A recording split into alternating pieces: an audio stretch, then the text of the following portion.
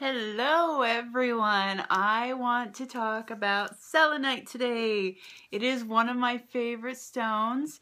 It is a um, really beautiful stone when it's in spheres form because it gives off this cat's eye glow and that's its nickname. Um, but selenite comes in so many different forms. It comes in wands, it comes in slabs, it comes in spheres. It's really awesome because it's not a very expensive stone at all but I love it because it's a self-cleansing stone. So you never have to cleanse the stone at all. It's totally self-sufficient. It takes care of itself. It's great to have selenite if you want to cleanse other crystals. It's beautiful energy for full moon ritual work, especially if you mix it with um, some moonstone because when it's in spheres form like this, as you can see, it looks like if I'm holding the moon.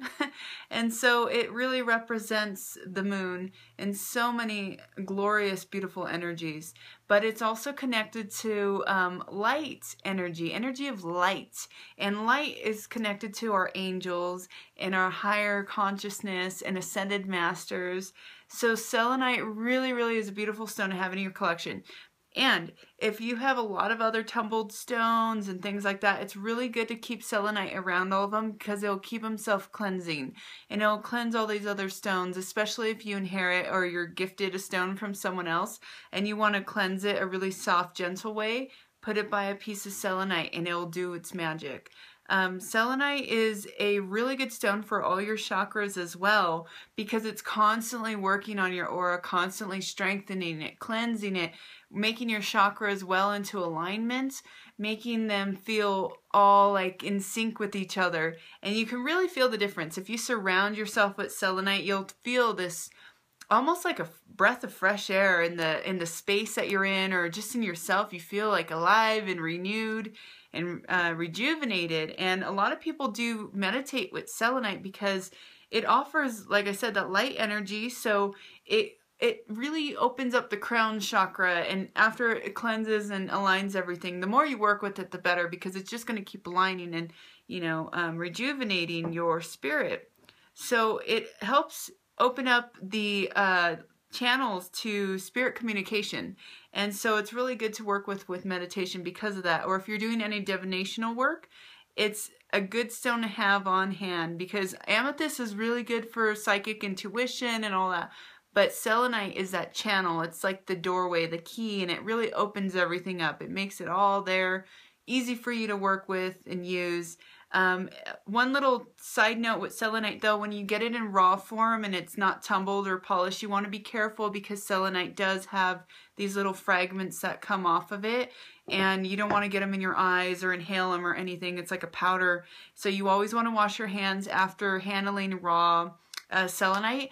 Also, you never really want to make an elixir out of it because of that because it gives off those flakes so you don't want to drink that and you don't want to put it in your oils or anything like that because it's not good for it. Um, some people make crystal water like myself. I use quartz and I make crystal water to enhance my water that I drink but you don't want to do it with selenite. You can do a cup of a glass cup and surround the cup with some selenite. Uh, same with any of your oils that you're making or anything like that. You don't want to put the stone in it though because it will dissolve too. Um, so, but selenite, beautiful stone. I highly recommend it for any crystal collector because like I said it's constantly self-cleansing. It cleanses other stones. It's great if you have jewelry. Like I do I have a selenite slab in my bedroom and every night when I take off my jewelry I leave all my jewelry on the little selenite slab. So I know that it's cleansing it overnight and then the next morning sure enough they always feel so brand new.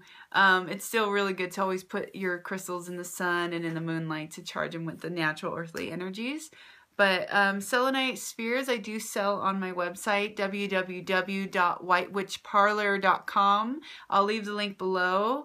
And um, yeah, selenite, I, I love this stone. I really, really do. Ever since I first got it into my hands, like uh, years back, I just, I said, this is a good stone. Like this does something really positive. It's positive energy. And after that, I realized I was more in communication with my angels. So I really credit this not not this sphere exactly but selenite to that. So it really helped open up my channels to my greater awakening and expansion of my spiritual journey. So if you guys like this video please like it and you can always subscribe to my channel for more videos like this and inspiration and spiritual guidance.